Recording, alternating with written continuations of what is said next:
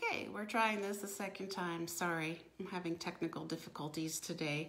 Uh, so, this is Pray Down at High Noon, uh, closer to 1 o'clock Central Time, but uh, here we are for our time of prayer. Um, I wanted to read something to you, and I actually uh, used this for our staff devotion yesterday. And um, I just think uh, during these days when we have some forced reflection and um, time to be able to be still that uh, we shouldn't forget to listen and not just talk at the lord. So this is from uh, the book of first samuel and this is the call of um, samuel. Now the boy samuel was ministering to the lord under eli who was the prophet. Um, the Lord, the word of the Lord was rare in those days. Visions were not widespread. At that time, Eli, whose eyesight had begun to grow dim so that he could not see, was lying down in his room.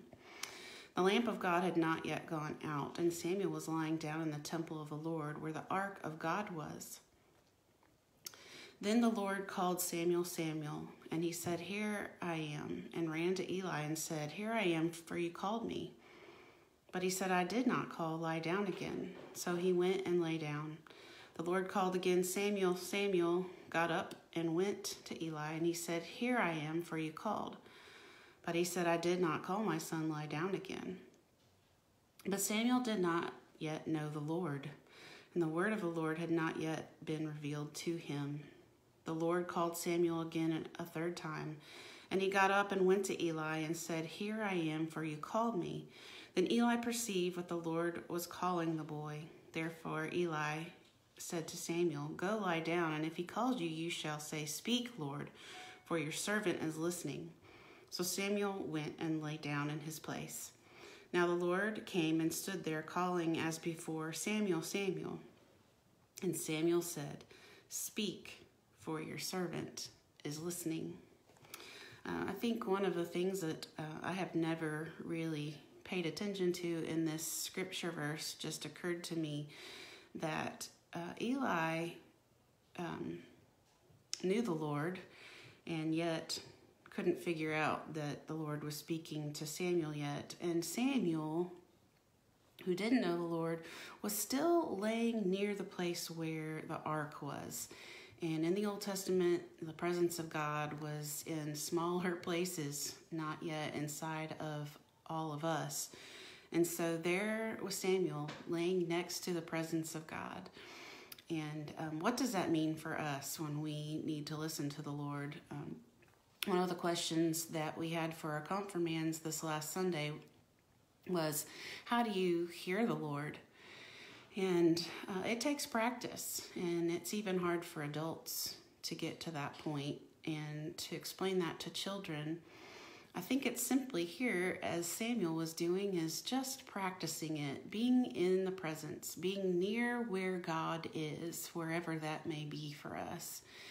And um, I think during these days of quarantine, we need to not forget to put ourselves in that position to uh, set time aside where we are listening, uh, even in the forced solitary confinement that many of us are still in and uh, will continue to be in, that we not forget to position ourselves to where we're listening to God so that uh, we can say to God, Speak, Lord, for your servant is listening.